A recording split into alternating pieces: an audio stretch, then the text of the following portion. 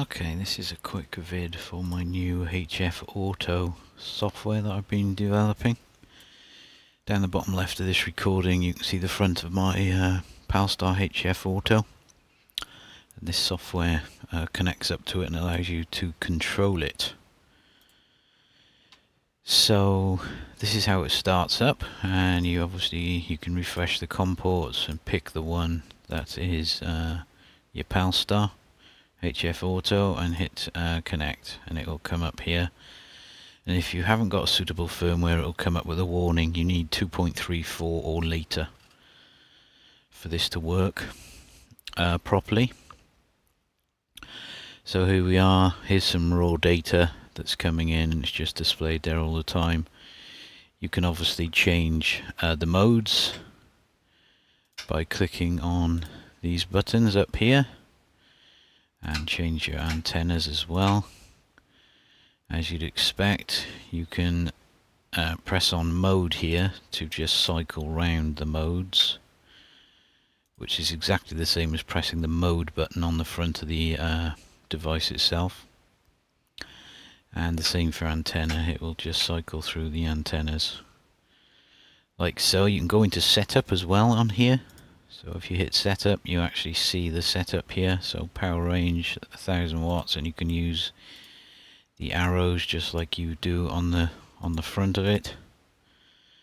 And you can hit the select again. Select is the same as pressing in the round dial, the the knob on the front, so you can uh, get through everything on here. So uh, that's implemented as well. And then you can just go back to auto like that. Uh, we have a TCPI, uh, sorry, a TCI link to Thetis. So Thetis will send down the frequency. You can uh, you can look at VFO A, VFO B, or if you're using 2.10.3.7, uh, one of the later test uh, RC3s, then you can also use TX and it will follow whichever TX frequency you're on if you're doing splits or whatever it will auto track them and all that sort of stuff. And of course you just put your the IP in which matches your Thetis uh, TCI server.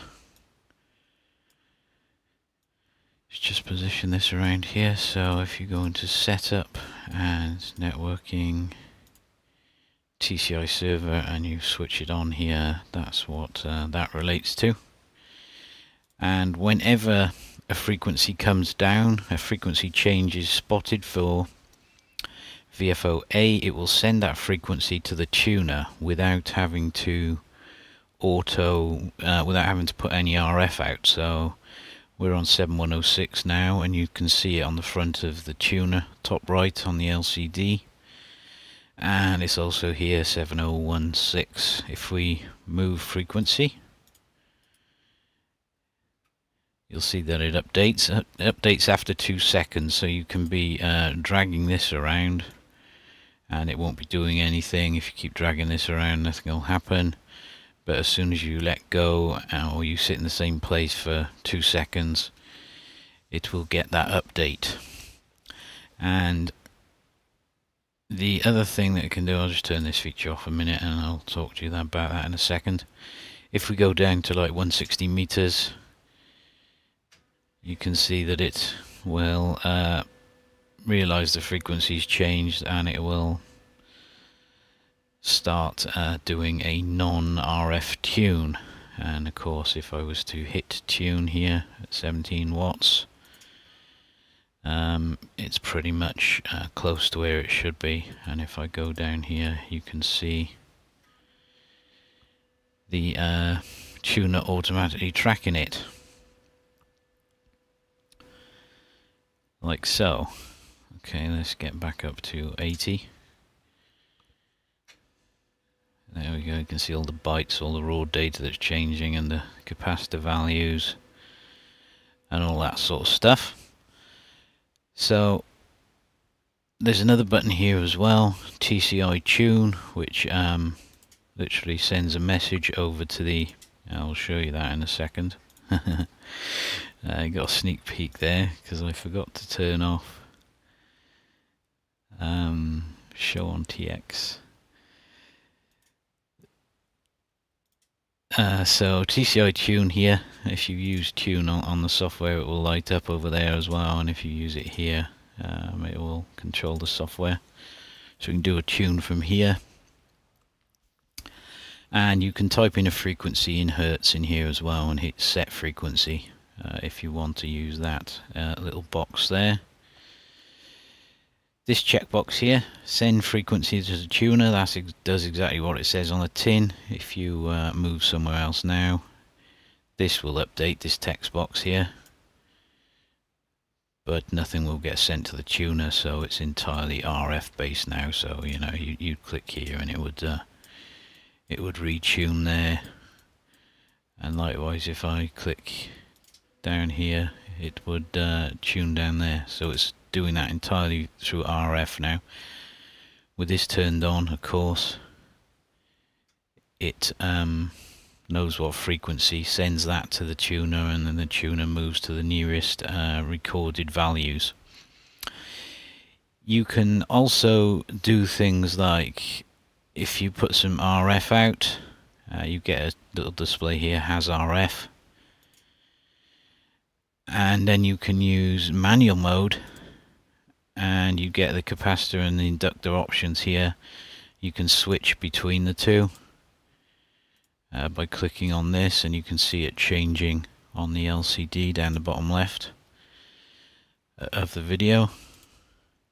If we want to change the inductor we can just hit on plus on here and that will change the inductor values like so. And obviously the uh, SWR is changing. You can keep your mouse down on these buttons and it will uh, apply the settings over and over and you can go into a fine mode as well which will do tiny adjustments.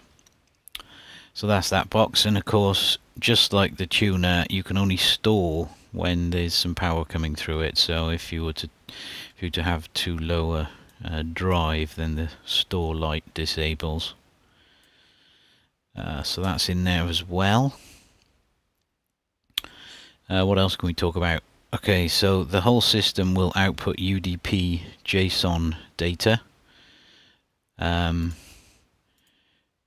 to Thetis, and we can trap all that in here in the uh, I.O. stuff in Thetis, uh, multimeter I.O. So if we clear all these variables and we now go somewhere, you can see that um,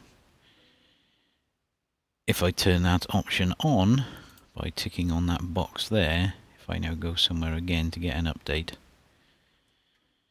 uh, a whole bunch of uh, information gets sent across and you can use these variables to build a display similar to this one which I've built in Thetis which gives you um, a replica, well, a similar sort of display to the LCD, which uh, of course you can't see, it's off the screen right now.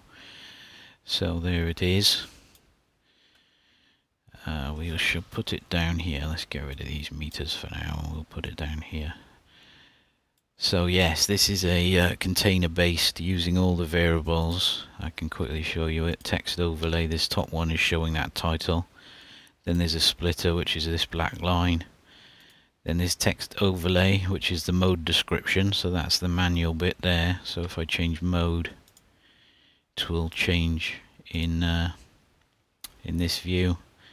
Then there's another text overlay, which is the capacitor values and the inductor values there.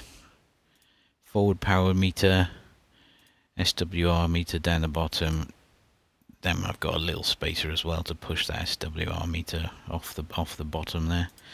Then we got another text overlay which is the antenna selected, so that's been shifted up and across, which is that one.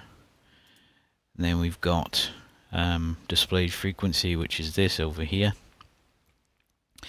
Then we've got two interesting ones which you saw when I'm on manual. So it's this flashing to show that it's in capacitor change mode and that's done by if the mode is 2 which is uh, auto is 1, manual is 2, bypass is 3. So if the mode is 2 and the stepper motor selection is 1, this is stepper motor 1 is capacitor, stepper motor 2 is inductor. So that's now flashing that. If I was to click this now, it'll switch to the other one. And of course, um, you can uh, change this uh, just by clicking on here. You don't need to have RF out. There you go. You can see it changing. Like so. So that's that's that. That's a quick overview of the front end. You got uh, on top, uh, cross top right minimize minimize the system tray, or you can have it start up in a system tray as well. The last thing to look at um, is this thing under this this this setting here. Let's get to by here out the way. And you saw it uh, change frequency there and did a bit. Uh, if we were to tune here now, we, we're okay. Let's make sure this shows on transmit. Uh, that's okay, so 1.3 to 1 we've got there. We could go into manual and we could go uh, tweak this up a bit. So at 1.0 to 1 and then we can hit store and then it will, you'll see its settings changed will have appeared on the LCD um, and that's stored it in there. Uh, the last thing, as I say, is this, which brings up a whole uh, another system. So if you've got, I've got a doublet, which obviously I use for like 160, 80, 40 and 30 uh, meters. But I, I've got a, a, hex beam as well and I don't need to send the, frequency changes to the tuner when I'm on the hex beam frequency. So in here I can put anything above 14 meg. So that's uh, 14 with six zeros anything above 14 meg and below 60 meg say we won't send any updates uh, for uh, frequency. So now if we go to 20 meters, let's turn this on. So that checkbox there turns this uh, um, frequency stuff on and it's linked to this checkbox here. So if you turn this one off, this one will turn off. And if you turn that one on, it'll turn on over there. So this is just here for easy access. Um, so now if we jump to 20 meters, frequency information will not be sent across. So as you can see, we're still on uh, F3784. Uh, so no frequency info is getting across right now. But of course, if I was to hit um, uh, uh, put some power out here now, because we're in auto, it would tune, which is not what we want to do as well for the hex beam. We, we don't want to do that. So we can say um, switch to a specific mode when we're on or above 14 meg. So we'll just set the same data in. 1, 2, 3, 1, 2, 3. Uh, and so we'll say when we're on that, in that range, we'll go into bypass. So if we hit OK now, and we give it a frequency change just to get an update, you can see it's automatically switched into bypass mode. However, if we jump down to 80, well, there's no setting for 80, but what we can do, we can do the whole range of the thing. Uh, 60 meg. And we can say, for the whole range, we want to be on auto. But we can give this one that we just entered a much higher priority. So when we're in the 14 to 60 meg range it'll use bypass and the rest of the place it'll use auto. So if we were to go down to 80 meter uh, hit ok on this and now go down to 80 it'll change to auto automatically without any RF going out over it or anything. Um, and we can go up to 20 and it'll switch to bypass. And likewise we can also control the antenna uh, selection like this. Um, standard on the HF Auto, you can choose your antenna by RF, so you can uh, turn auto antenna on and then you can set up which ones you want bypassed, which ports you want to use and all that sort of stuff. But you, with this system, with this program, you can do it without putting any RF out there. So we'll add another entry from 14 meg to 60 meg. I want to use antenna port 2 but for the rest of the free, uh, rest of uh, everything I want to use antenna port 1 60 1 2 3 1 2 3 I want to use antenna port 1 but as you can see they're both on the same priority so it would use the one that's first in the list but it's best to give it a priority number. So that's higher priority. It will use this over this.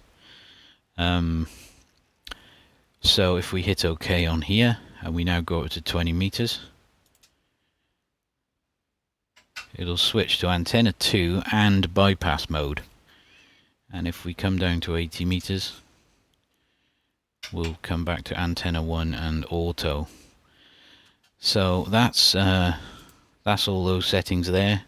There's a cut there's one more setting here as well. If the SWR is detected by the software by the tuner and it's greater than 3 to 1 automatically switch to auto if not already there. So it means that if you um, if you have that on and you go somewhere which isn't tuned at all and you don't have it in the right mode it will automatically flip to auto so there's that option as well uh, so there we are that is the piece of software uh, it's going to be freely available um, I'll put it up on GitHub at some point. The source won't be made available though. Um, but uh, the, the program will. And um, I'll probably be doing a few more updates uh, to it over the short term because it hasn't been tested really much other than what I've been using it uh, with and, and uh, developing it but it hasn't had any end user testing as such so uh, yeah that's it anyway Alright, cheers. Oh, I forgot to add, I'll just come back at the end of the video, I forgot to add, you can actually, it it mirrors everything on the, on the um, device itself, so if you were to press a button on here, like uh, mode, it automatically happens in the software. Um, it's fully uh, is fully implemented like that. Even if you were to go into setup on here and then you were to move through with the dial uh, you see it appearing. And if you change a setting on here you see it changing in the software as well and of course you can get out of setup by pressing this back button but you can also do it uh, in the software by pressing the back button um, Oh yeah, changing through the actual uh, options and you can just get out of setup by hitting auto or whatever. So there we are. That's it anyway. Okay, cheers again.